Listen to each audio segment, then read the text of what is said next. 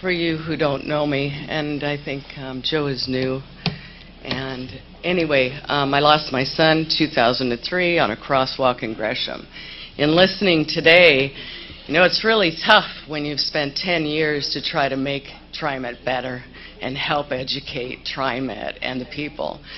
And it's even tougher to think that when I passed the law in 2007, and in 2008 the board didn't know, in 2009 they started doing the safety measures because they had to go back to all these crosswalks. And we're still in 2013, and we're still working on them.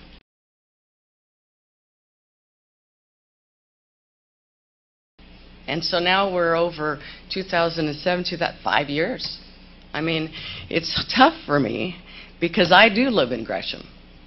And the part that's ha even harder is in 1999 when they did the safety study. He's saying 25 years. When they did the safety study, these were all a part of them. And this is a long time. Where my son got killed, they'd hit somebody else. Some of these places, they've hit 15 people.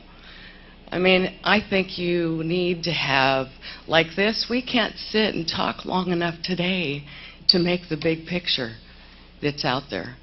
And these that we're showing today, I'm just wondering, when were these pictures done? Were they done when I did the safety study, passed a law in 2009, and now we're just getting to them? Um, so that part's tough, but we can make it safer quicker, I think. I mean, I just, it's like you asked the question of how or what are we going to do now until 2014 for those pedestrians. Well, I'll tell you what you do. Put it on the driver. They're the professional.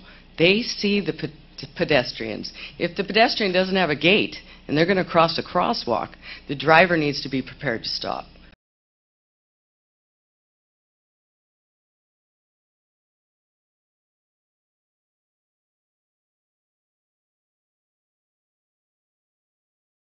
In the Portland area in the last week alone. So tonight officials are reminding riders to be aware, alert, and avoid distractions. Fox 12's Jamie Wilson reports from Beaverton, where the most recent accident happened.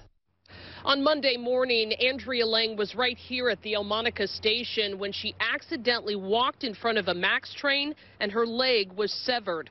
TriMet officials say Andrea was distracted like too many other people are every single day.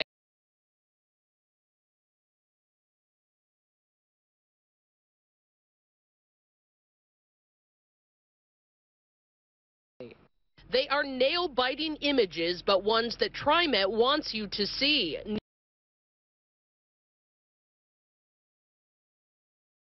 Near misses along Max track.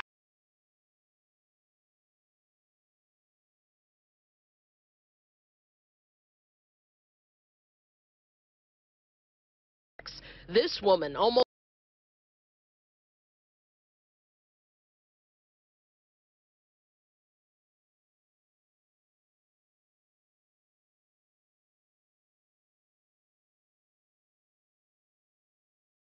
walking right in front of an oncoming train.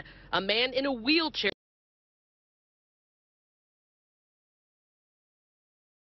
barely making it across. And this woman forced to run when she finally sees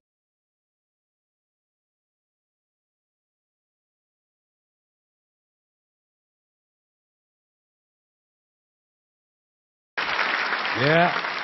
Sooner or later, the people in this country are going to realize the government does not give a fuck about them. Government doesn't care about you or your children or your rights or your welfare or your safety. It simply doesn't give a fuck about you. It's interested in its own power. That's the only thing, keeping it and expanding it wherever possible.